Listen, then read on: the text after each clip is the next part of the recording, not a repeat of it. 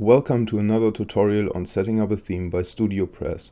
My name is Jan and I'm a restart strategist blogging at jkoch.me and this video will be about setting up the front page of the modern portfolio theme that's developed by StudioPress and that's based on the Genesis framework. To demonstrate this setup, I'm using the website artofbertha.com. Bertha is an abstract painter and a friend of mine. She's living in Germany currently and she wants to present her art in a new and beautiful way if you're interested in art in abstract paintings, definitely check out the, her site. So when we go into it and we go to all pages, we can see or we will see when the page is loaded that there is no home page. There's just an about and contact page. And what that means is that we have to search for another way to configure the home page. Actually this is within the widgets and in the widgets you can see four widget areas titled home about home portfolio home services and home blog. And this is where the contents of the home page go. The home about page uh, the home about widget is this black black background with white text. This is great to welcome new users to your site. And to add this text it is pretty simple. You just need to add a text widget and enter the contents that you'd like to have. So that's pretty easy to do. When we come to the portfolio, let me show you how it looks.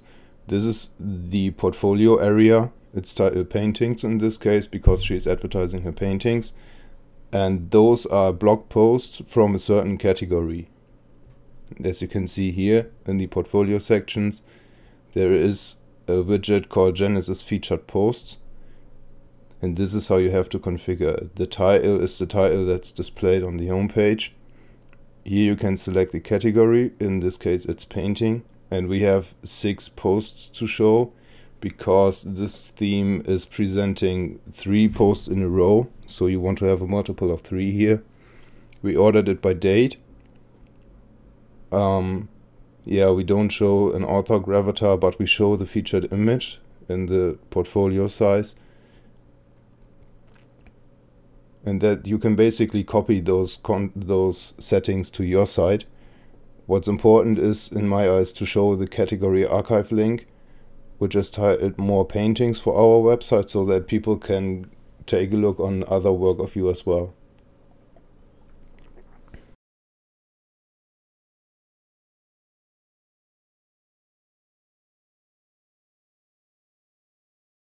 So we already have covered the first two items of the home page. The black text, which is the home about feature, the home about widget, and the paintings, which is the home portfolio widget.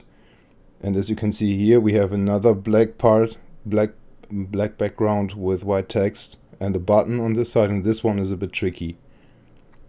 Because this this one, as you can see here, is in the home services this again is a text widget, but you have to use some HTML to align the text to the left and the bottom to the right and to, to style the button.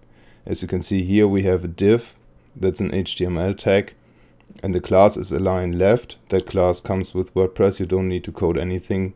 You can just copy this text, then enter the content that you want to have aligned to the left and close the div by copying this text and we do the same for the right aligned button div class align right in this case and to create the button we need an h an a tag. That again is an html file an html tag. You can set the class to button which causes the um, link to style accordingly. Href is where the link refers to so in this case we'll link to our contact page. And then you can have the value of the button and close the div of course. You can just copy this whole paragraph and then customize it as you like. The last feature that we are not using in our case is the blog area. So you can display the, la the latest blog posts on the website. And you do that by adding the recent post widget to the widget area called home-blog.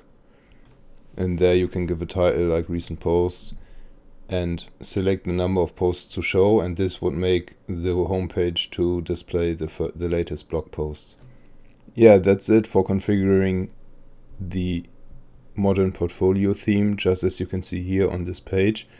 If you like the theme and if you want to do me a favor you can go to jkoch.me slash modern portfolio which gives me a bit of affiliate commission at no extra charge for you.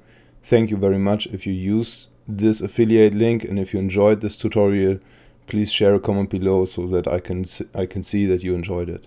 Thanks.